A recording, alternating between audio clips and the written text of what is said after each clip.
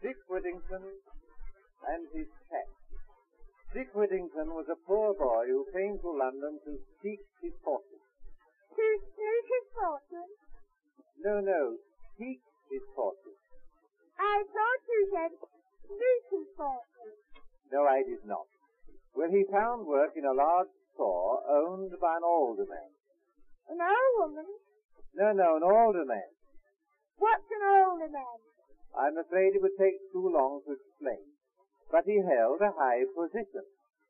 Was he an airman? No, no. He owned a large store. You said he was in a high position. Yes, he was in a high position. Now Dick was accused of being dishonest and was dismissed. What dismissed mean? Discharged. Sent off.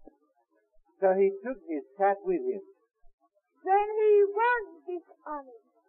Oh no, he was not. But he took the alderman's cat with him. No, no, it was Dick's cat. Who gave it him? Never mind who gave it him. I bet he took it. now he hadn't gone far when he heard the bow bells of London calling, and the bells seemed to say, Turn again, Whittington, Lord Mayor of London. So he turned. What did he turn into? He didn't turn into anything. He turned back. And then he went for a voyage in a ship and reached a foreign land that was overrun with rats. Now the king didn't like rats. Why? Nobody likes rats. Well, why did he have them? He couldn't help it. He wanted to get rid of them. Well, why didn't he? He couldn't. No one could catch them. So Dick lent his cat to the king, and the cat killed all the rats. All of them? Yes, all of them. And the king gave him a fortune. Who, the cat? No, no, Dick Whittington. But it was the cat that killed him. I know it was. But it was Dick's cat.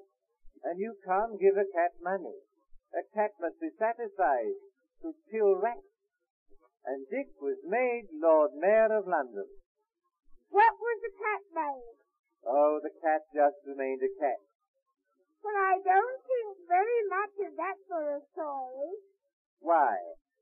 They might have made the cat something. Well, what could you make a cat? Well, you could make it the Lord Mayor, uh, the Lord Mayor of Catland. Well, that's not a bad idea, and perhaps they did. Oh, well, if they did,